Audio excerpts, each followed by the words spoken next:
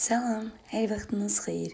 Bu günləri sizlərlə evdə toyuq və mal ətindən dönərin hazırlanmasını bölüşürəm. İlk əvvəl mal ətini nazik doğramışam. Üzərinə nazik doğradığım quyruğu əlavə edirəm. Suyu sıxılmış soğan əlavə etdim. Qatıq,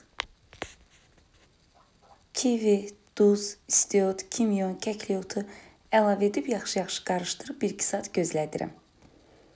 Toyuq ətindən dönərə hazırlayaq. Bu dibinin dərisini təmizləyirəm, sümükdən ayırıram.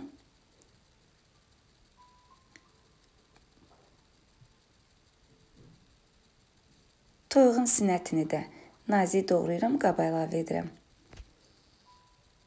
Üzərinə suyu sıxılmış soğan, qatıq, biber tamatı, pul biber, kimyon, kəkliyotu, duz, istiot əlavə edib qarışdırdım. Mətbəx salfanın üzərinə hissə-hissə yığıram. Ən sonda isə kalbasa forması verirəm. Ən az soyuducuda 4-5 gün gözlətmək lazımdır. Eyni bu qayda ilə toyuq dönərini də hazırladım. Sizlər də bəyəndinizsə bəyən düyməsini basmağı, yaxınlarınızla bölüşməyi, yorumlarınızı yazmağı unutmayın. Hə, bu arada videonu da yaddaşa alın ki, hazırlayarkən axtarıb tapmaq sizə asan olsun. Hazırlayın, evdə ürək rahatlığı ilə sizlər də dönərinizi hazırlayıb nuş edin. Hələlik.